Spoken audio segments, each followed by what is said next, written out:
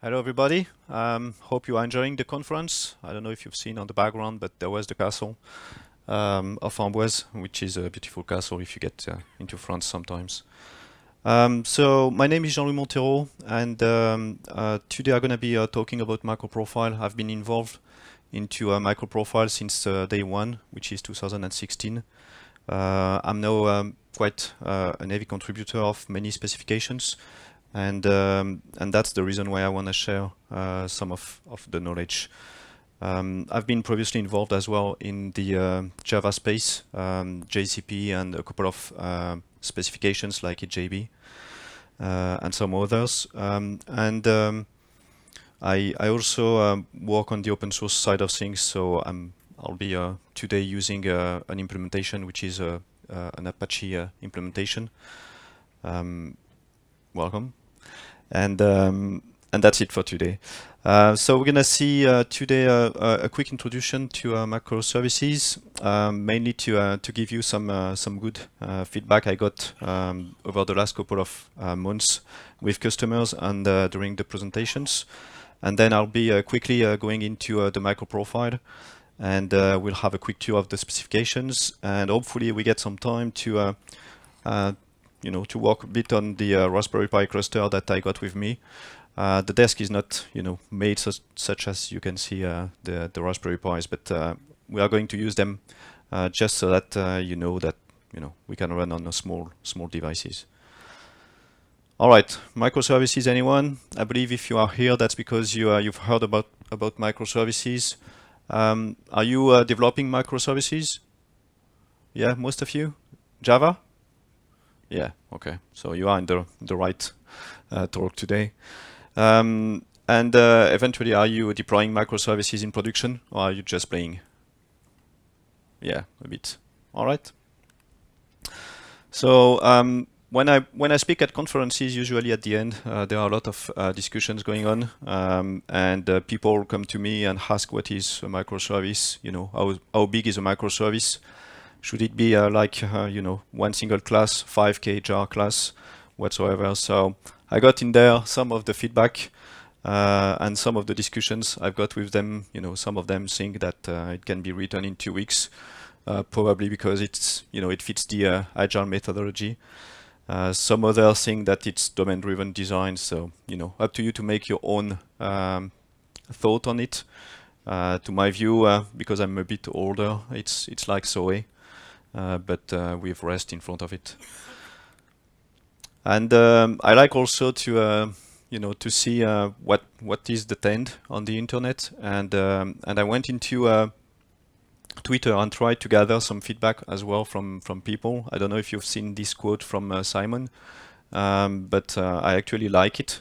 You know, if you can build a monolith application, um, you know, don't think that adding the network in the middle will make it uh, simpler. So this is one I really like. Uh, this one I won't be commenting it, but uh, you know that's that's what we can see on the real world. And uh, and finally the last one, you know, um, microservices is the uh, ar architect's dream, but uh, usually the developer's nightmare.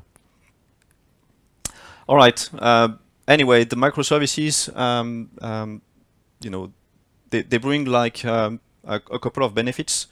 And uh, the reason why we are going to microservices, I've seen two uh, two presentations yesterday. Uh, they were actually uh, very interesting.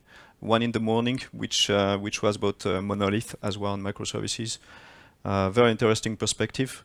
Um, in my view, the microservices they help delivering features more quickly. usually, you can get smaller teams that work in parallel to each other, and you know you have less to build usually and it's easier to test so you can deploy that more quickly.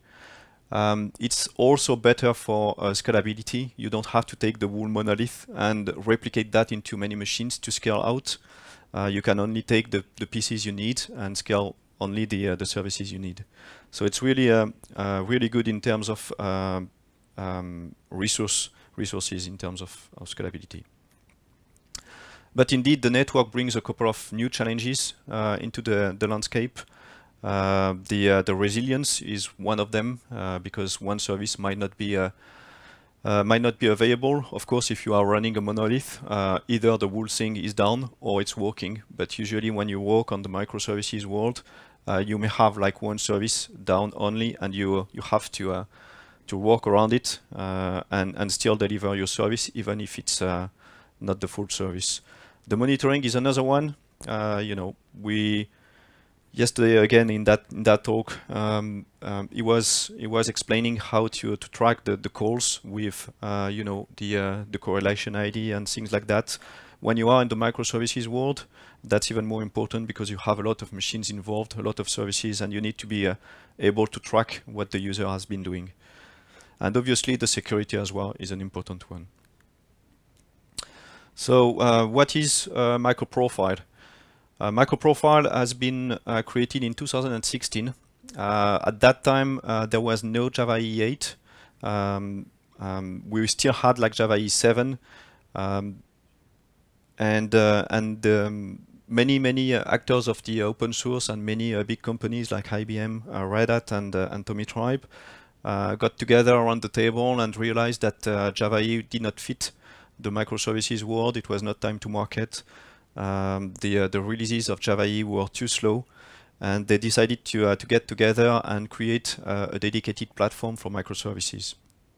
And that's the reason they created MicroProfile, which is an open source platform. So if if you want to get involved, if you have any opinion, and, and if you want to help, um, you know, get in touch with us, and uh, and you are welcome to contribute. Um, it's now a mature platform, uh, three years old platform. We've got like about 20 uh, releases out of the platform. Uh, and uh, and we have now many many feedback and many many implementations that you can use. so it's it's quite quite mature. Um, we started very very simple, only three specifications. the reason was like we didn't want it to add anything into the the, um, the profile, uh, which um, which would have been painful in the future. Uh, basically, we don't want to add anything which um, may be a, a, restriction in the future. So we started very um, uh, very simple, and then we started iterating on top of that and adding more um, to the cake. Um, today we have things to do configuration, fault tolerance, uh, security with J JWT and everything regarding monitoring, uh, open tracing, metrics, etc. And we have all the client side with the REST client and Open API and we are working currently on the streams as well. And uh, and in terms of uh, big picture, uh, so we've got uh, today MicroProfile 2.2. Uh, the background is basically um, uh, the the backbone of the, the, the specification with CDI 2.0 now, JSON P and JSON binding, JAX-RS. Again, we've got else metrics and open tracing for the monitoring and fault tolerance which is inspired from Hystrix, but we'll see that a bit later. Of course, configuration and uh, and a bit of the client. Um, again, um, this this was um, uh, because Java uh, did not um, meet the uh, the requirements for microservices. Um, it was seen as being too heavy. Uh, I would not be running uh, IBM WebSphere on the Raspberry Pis at all.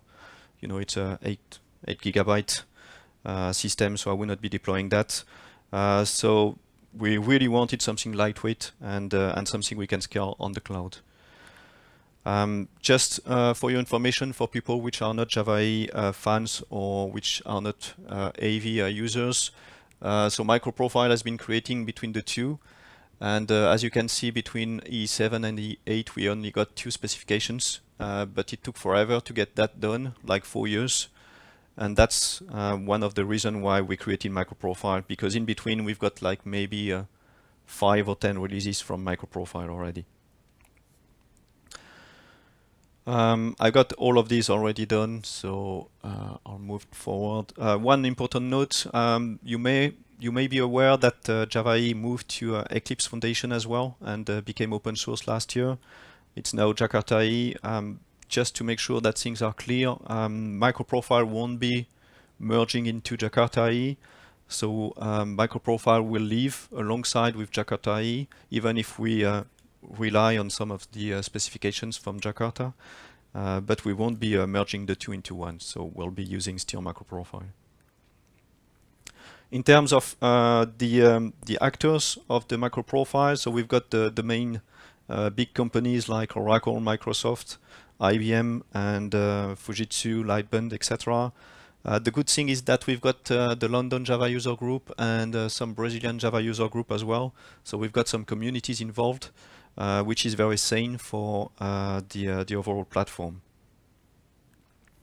In terms of implementations, so we've got Oracle, obviously, Red Hat. So today we'll be using one where um, we are heavy contributors at Tomitribe, which is in the Apache side. So let's see uh, how the uh, the first um, microprofile application looks like. So we're going to be using CDI. Are you uh, aware of CDI? Yeah, it's Spring Light for Java E. So it's uh, context and dependency injection. Uh, it you know it allows you to uh, to have beans and and handle their life cycle. You can use producers as well. add interceptors on top of that. So uh, you get trans uh, transactions and security done with with that. Uh, we'll be using, of, of course, JAX-RS, which is the, sp specification for RESTful web services in Java. And uh, we'll be using a bit of uh, JSONP in this example uh, for creating a, a, JSON payload that we're going to return. So if we look at the code, I have a bit of code into the slides and then I'll switch to the IDE so that we can play around with the, the specifications and uh, and use the, the, the cluster that I got with me. So in that um, in that simple example, we've got uh, a bit of CDI with uh, the bean injection and the application scoped. We've got a bit of JAX-RS over here as well, and JSONP is hidden into the body of the method. So the first thing we can see with microprofile, at least the first version, is that there is nothing really specific to microprofile. Uh, we only got a few subset of specifications from Java E and we created a, a small profile. Uh, but the interesting thing is that uh, when you run that into a microprofile compliant implementation, you get a couple of things for free that we're gonna see a, a bit later, like the metrics, the open tracing, the R check, and uh, and Open API, for instance. Okay, let's try to uh, to get that um, into a better shape with uh, some configuration and some other specifications. So as a baseline, I'm going to be using a simple example, which is a bookstore. Uh, the bookstore has like a book API that you can see on the right side. It uses the uh, number API. So basically, when you create a book, uh, you need an ISBN, and to get the ISBN, we're going to be calling the number API. And obviously, there is uh, the client over here and the router that which is hidden uh, on, on the desk. I'm gonna be running everything again on uh, a set of Raspberry Pi uh, version 3. They are like 10 years old Pentium for people which used to use them. So 600 megabytes of memory and they are a bit slow but they do the job um, and they are very uh, useful when you want when you want to test things like fault tolerance and uh, something like that and we'll be uh, trying that because you can basically uh, plug and unplug the cables and see how the application reacts. So it's very useful if you want to test your application. And um, it's running the uh, Hypriot OS. Um, are you a Ras um, Raspberry fans, maybe? Yeah, so it's running uh, Hypriot OS, which is um, uh, a Debian-like uh, uh, OS uh, dedicated to Docker. So basically you can uh, flash your SD cards, install Hypriot OS, and then you can deploy all the Docker images you want. You just need to inherit from the, the base uh, the base image. Um, I'll be running my computer. Uh, I'll be using my computer as the uh, Docker uh, registry, so I don't have to uh, to use internet and deploy that into Docker Hub. And I'll be using Ansible to to push everything into the pies and do the deployment things.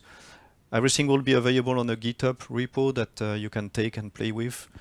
Um, all the Docker images are built for the Raspberry Pi and for the for the computer, so you can run all of this into your own computer as well if you want to play with all that stuff after.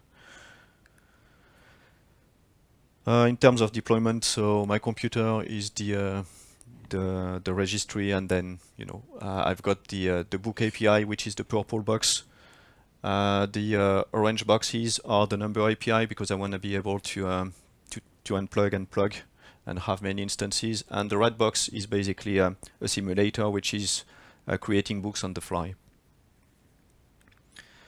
Okay, let's start with the configuration. All, all applications require configuration, so that's one of the first specifications we worked on. Um, it's been inspired from other open source projects, and uh, it allows you to configure your, your application either using CDI to inject the configuration or using um, uh, a standalone API that you can use to, uh, to grab the configuration you need. Um, you can use default values so uh, by default, you can run everything in development and it should work out of the box, or you can provide default values so the user doesn't have to configure everything, obviously. And, um, and everything is strongly typed with uh, microprofile configuration, and we uh, also support Java 8 uh, optional in there. So if the configuration is not available, the application can decide if, if it fails or if it has any, uh, any other way to, uh, to react. In terms of how it works, so again, the at inject, which is CDI, and then you have the uh, config property with the name and the default value if you want. So nothing really uh, fancy or, you know, really difficult in that, so I'll be uh, moving to the next one. Uh, there is also the API, as I mentioned, which allows you to do basically the same. Uh, grab the configuration and then get from, from the configuration the, uh, the property you need. Um, the interesting thing about microprofile config is that by default uh, it provides you with uh, a set of uh, sources that you can use. So you can define the microprofile config properties uh, which um, will be used to, uh, to read the properties and then there is the system properties and the environment variables which are very convenient if you use Docker for instance. Uh, and there is some kind of um, an index that you can use so you can define if uh, one uh, will be read first or, or after the other one. And obviously you can have your own database if you want to. You just need to implement the config source and, uh, and read the, uh, the properties from the database.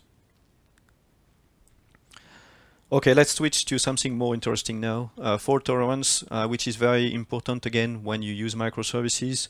It's heavily inspired from um, Netflix, the um, uh, project and failsafe, uh, which is another one. And it allows you to basically react if a service is not available or if it's not responding into the amount of time you defined. So we have like many implementations and uh, many flavors of uh, of the fault tolerance. So we'll we'll dig into that in in few moments. Um, it's also uh, heavily built on CDI. Again, CDI is really the backbone of microprofile. So uh, if you don't know CDI, it's going to be hard for you to get into the other specifications. Um, if you already know how uh, dependency injection works, then it's kind of easy to get into the other ones because they are all based on that one. So the first one is the timeout. Uh, timeout is used uh, when there is a service which is, uh, for instance, responding, uh, but which is taking a lot of time. So you can you can define a timeout. So if if for instance you have like SLAs to uh, to meet, uh, if you are if you are running in payment or things like that, usually you have to uh, to answer into a, a, small amount of time, and you don't want to be depending on another service for that. So we use timeout for that. So if the, the invocation takes too long, we're gonna be uh, cutting the connection and uh, and doing another another thing on the service retry, which is very useful if you have some uh, network glitch. Um, for instance, if the network is sometimes available, sometimes not, uh, you can define a retry which is able to react on uh, on some exceptions and do another call uh, to make sure that you get your your information. Fallback. Uh, fallback is another one. So if at some point you cannot invoke a service, I'll be using that right after um, and uh, and you don't want to be failing, you still want to be uh, answering something to your customer, then you can define a fallback and have your own business logic to uh, to work around the uh, the invocation that didn't work. Circuit breaker. Um, this one is very interesting as well. Um, it's kind of um, it allows you to basically um, remove somehow a service if uh, for too long it's been unavailable and uh, and put that again into uh, the landscape if uh, it becomes available again. Um, the circuit breaker can be open, half open, and closed. so closed, everything is working. Open is that you know the service is not available anymore. Bulkhead, um, it's also a very interesting one. Uh, this one is kind of rate limiting kind of thing, where basically you have a service and uh, you know that it won't scale if uh, you receive a lot of requests. Uh, you can add the bulkhead annotation in there and define how many concurrent requests you want on your service. And if you do that, then uh, you can define if uh, the next invocations are going to fail or if you want to queue them so that when the uh, uh, a new thread is available, it can pick that up and run the, uh, the business logic. Microprofile health check. Um, this is heavily used by load balancers, so F5 for instance, etc. When they want to, you know, pull the service out of the load balancer because it's not responding anymore. Uh, usually, you need to implement uh, an health check uh, to make sure that your system is healthy and is currently uh, responding. Um, so that's again very important. I'll have a, a small demo right after. Uh, when you use health check on microprofile, you get out of the box uh, the slash health uh, endpoint, and this endpoint allows you to uh, to get the state of your of your system. So basically, it runs all the health check and gives you the overall result, uh, and it can be used as JSON or as plain text as well. So it supports many many content types. Uh, the overall status depends on the status of all the checks that you have implemented, obviously. If there is at least one which is down, the whole health check is going to be reporting down as well. So uh, the load balancer again can can do stuff behind it behind the cover. All right, let's see how it works. Uh, very easy. Uh, it's uh, for those who used um, uh, Metrics, which is an open source framework. Uh, it's really similar in terms of implementation. So you have to implement an health check interface uh, don't forget to add the health uh, annotation in there, and then uh, you know you can do whatever logic you want into the body. You just need to uh, to return uh, an health check response. When you hit the the health endpoint, you're gonna get the list of all the checks that you are going to run and and the overall outcome, which again depends on the outcome of each check. All right, let's see how it works. How much time do I have? Remaining? Okay, thank you. so I have implemented a small uh, health check over here, which basically um, um, is a check audience isn't sleeping. So that's because we are after lunch and I wanted to make sure that you are not sleeping. So I created this one and I'll be running this one locally so that it's faster well, I'll be deploying on the pies and at the same time I'll be running locally.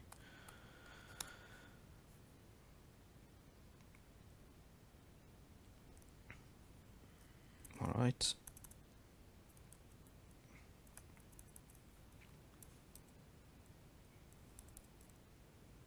Okay. I'll make this a bit bigger as well. Okay, so that's the uh, the health check. Obviously, it's random, so sometimes you are sleeping, sometimes you are not. Uh, and in terms of uh, the Raspberry Pi, it's currently deploying the uh, the WoolSync, so I'll be switching back to this, and I'll go. I'm I'm going further with the presentation.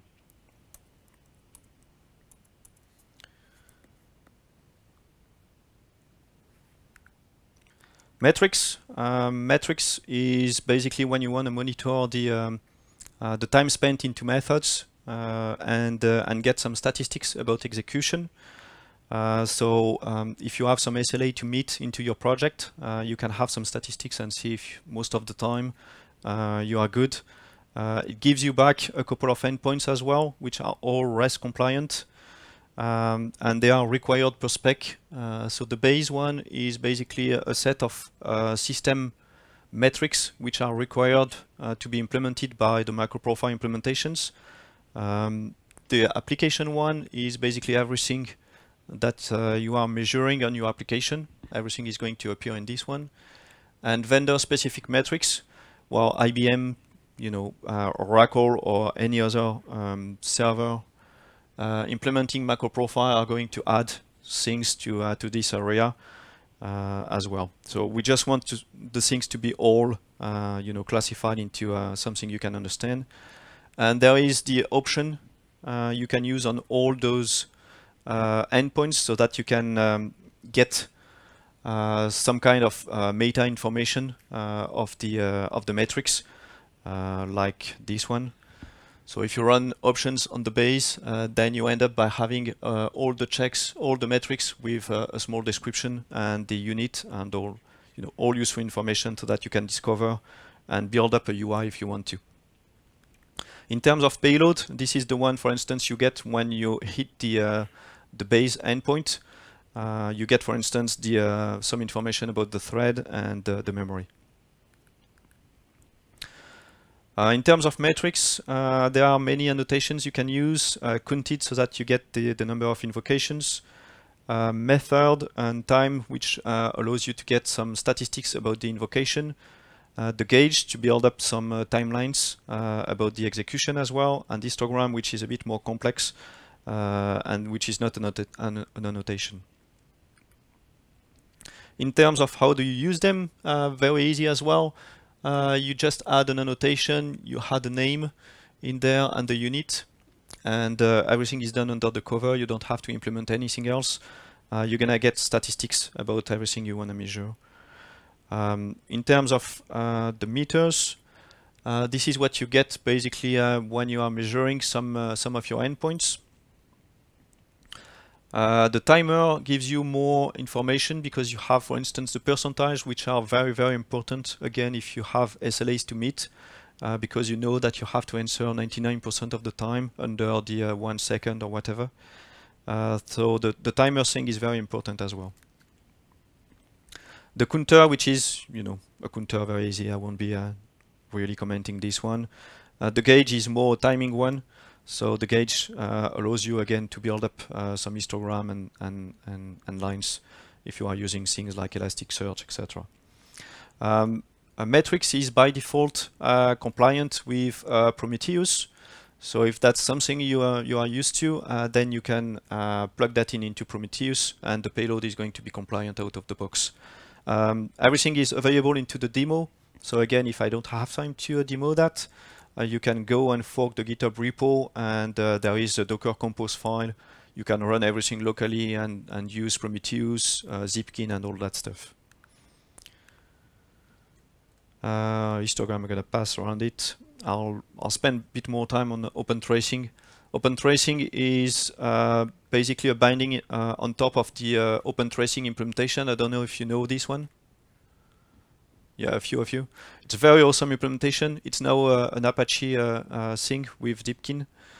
Um, it allows you to um, to track the calls of uh, your um, your system, so that you can see uh, all the services you reached and how many time you spent into each service or each piece of service. Uh, there is as well a couple of annotations you can use, and um, and you can use also the programmatic approach. So let's see. Here we go. So uh, this is the annotation you can use to, um, to track uh, your calls with uh, CDI and open tracing. And this is the um, uh, programmatic way to handle spans if you want to just measure a subset of the body. Uh, you have two options basically. Either you are uh, lazy and you use your IDE to extract the logic into a method and then you just need to add the at um, at annotation. Uh, if you are not lazy and you want to deal with all the span stuff, uh, you can have that uh, into your body, uh, but it's a bit cumbersome in my opinion. But that works. In terms of Zipkin demo, uh, all right.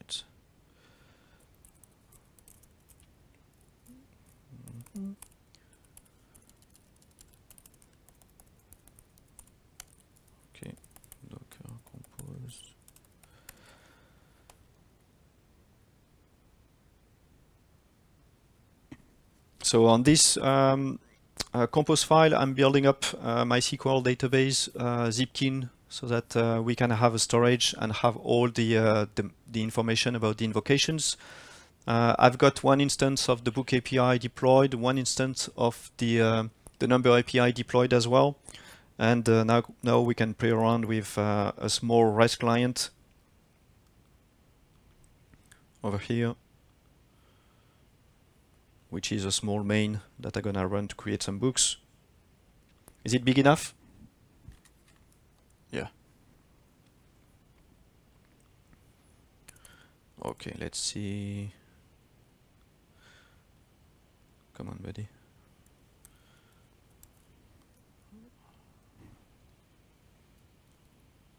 Okay. What's the thing?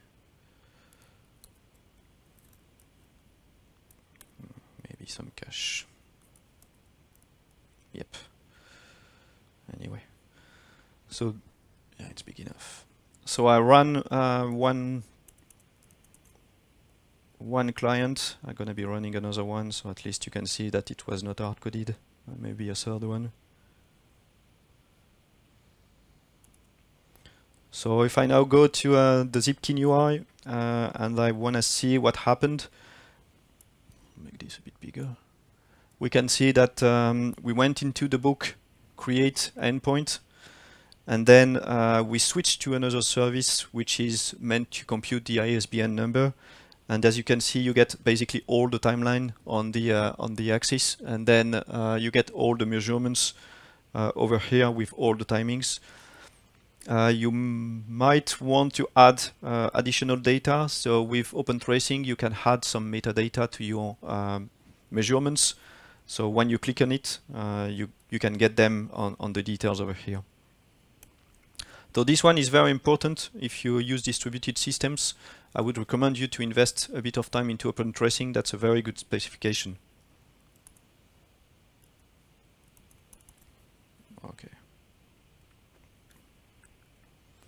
JWT, um, it mainly comes from um, uh, big actors like um, uh, Facebook, uh, Google, and uh, and uh, and so on.